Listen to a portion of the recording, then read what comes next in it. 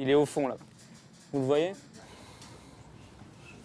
Est-ce que vous savez pourquoi on les appelle les ratons laveurs?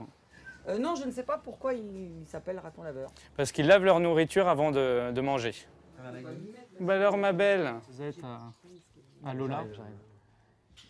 J'adore présenter le parc, présenter les animaux, alors surtout aux enfants. Je trouve qu'il y a plus de charme parce qu'ils ne connaissent pas ce monde. Faire en sorte qu'ils aient moins peur de, de l'animal. Ça se passe toujours, toujours super bien. Alors voici les wallabies.